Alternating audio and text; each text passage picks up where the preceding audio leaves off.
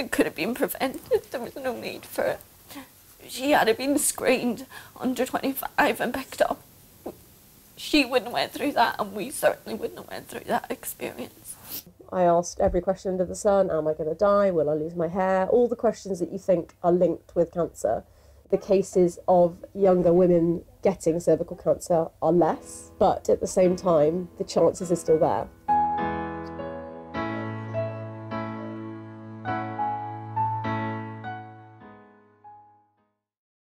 My sister Saoirse was such an inspirational and lovely person. Um, she was so funny. She was great fun to be around. She was so loving and caring.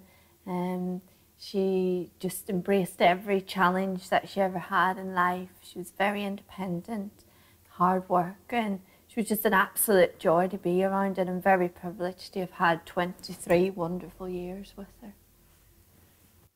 Smear tests are used to detect abnormalities in a woman's cervix before the cells become cancerous. It is estimated that 4,500 lives are saved every year from screening.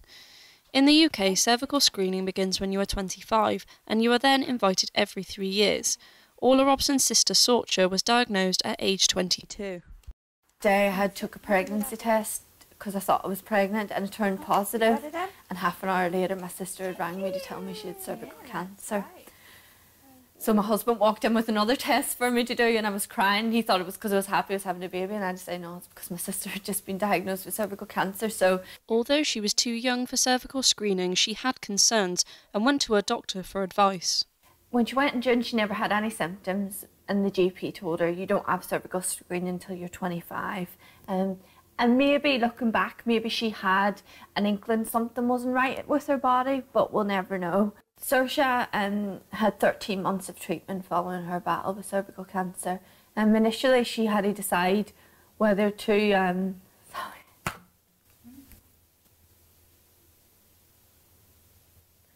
Don't know why.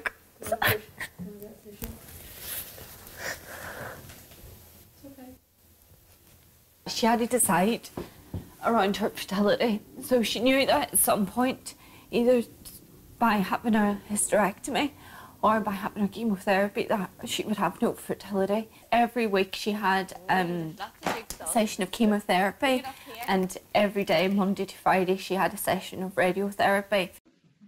After the cancer treatment ended, Saoirse spent Christmas at home with her family.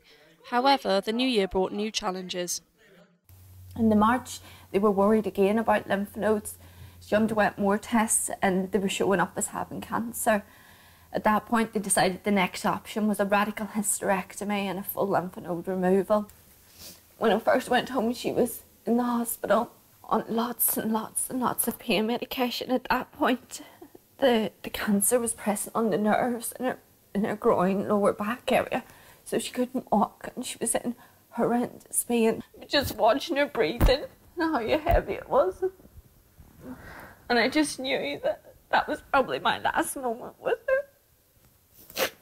And so my mum and dad came back in, and then her boyfriend Matt came in to spend the evening with her. I took her for a walk around the garden, so we pushed her out in a chair. And then when they were out there together, he gave her this promise ring. And she put in her Facebook post, This is the most happiest day of my life. And Matt's given me this promise ring and put a picture of the pink diamond ring on Facebook and with the, the whole thing about this is great and you know me and Matt's get you know get going to get engaged in the future and spend the rest of our lives together and that and she died the following day. It was so fast. And I thought I'd have months with her. Ended up having a week with her. So I remember going in, grabbing my other sister trying to pick my mum up off the floor to get into the room. We went in, and Matt was just there, just holding her in the bed, and she'd passed away about five minutes before. What makes it harder? It could have been prevented. There was no need for it. She had been screened under 25 and picked up. She wouldn't have went through that, and we certainly wouldn't have went through that experience. During her battle, Sorcha took her story to the media and campaigned for the smear test age to be lowered. Her family decided to continue her campaign, and along with several doctors, they created a report to present to the UK government. One of the things that stands out right from the start of the report is that um, the research used to decide on the screening age of 25 was put together in 2003. Um, so you're chatting 16 years ago. But what did the experts say? There isn't any evidence that having a smear test under the age of 25 actually does you any good at all. And there's quite a lot, well, there's a lot of evidence that it can do you harm because actually women under the age of 25 can have quite a lot of um, abnormalities in their cells which would just get better on their own. Experts suggest that many natural changes happen in a woman's cervix up to 25, so many tests will come back abnormal.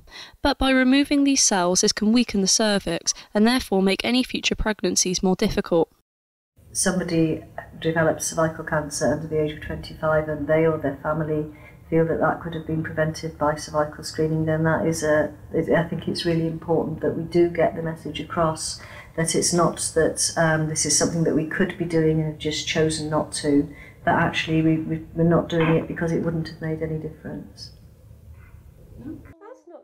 Georgina Hannay was 24 when she was diagnosed with cervical cancer, and similarly to Sorcha, she wasn't allowed a smear test because she was too young. However, unlike Sorcha, she did have symptoms, but said the process of having a checkup wasn't quick. So I had six months of irregular bleeding, discharge, um, bleeding after sex, pain after sex. I went back to my GP for six months, and it wasn't until the end of the six months where I actually went, had a scan done at St Michael's Hospital in Bristol, and then they examined me and found the tumour that was growing. Having never been touched by cancer before, I didn't really fully understand it. All I assumed was that you have cancer, you die. I started to panic about whether I was going to be able to have kids and how it was going to affect my life and was I going to die and was I going to lose my hair and all the eventualities you could. I cried a lot because I didn't know what else to do and I just, yeah, I fell off the wagon for a few days. They did a cone biopsy and they took away 95% of my cervix. They just kept taking more and more away, testing the margins, and then having to take more and more to the point where I was left with 5% of my cervix.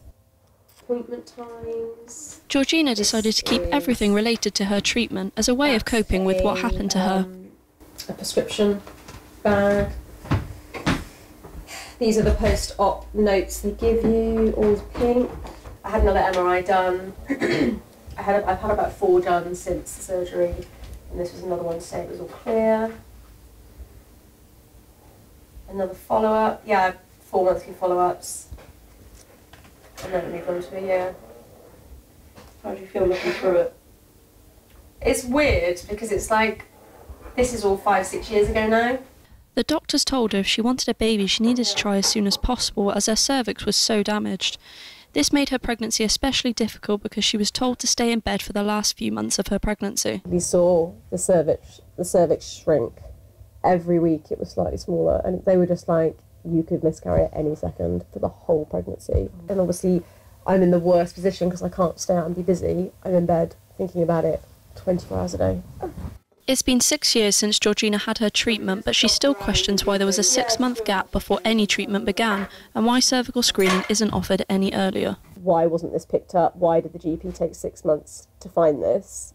Um, and obviously, the more I've talked about it over the years, the more I've questioned it. The reason they leave it at 25 is because the cases of younger women getting cervical cancer are less. But at the same time, the chances are still there. Leaving it to 23, 24 25 gives a much longer opportunity for cancer to grow, tumours to grow, etc. And I just, I think to have avoided that, and I keep hearing of more and more cases of younger women getting cervical cancer, and I just think if it can be avoided, then you know, what impact financially would it have to lower the age and start the smear tests earlier? Yeah. Really. When I approached the central and the Welsh Government for comment on the cervical screening age, they both declined to be interviewed. However, they both sent official statements to say why they only screen 25 and over. They both agreed that the cervical screening age for 25 to 64 is the most effective. My question is, though, what will happen in the future for those who aren't in that age group? As there are no current plans to increase the cervical screening age and there are no alternative ways to prevent cervical cancer in younger oh, women, their future is unclear. A, a trip down memory lane. But a good one because I'm here and I've got my daughter. So that's.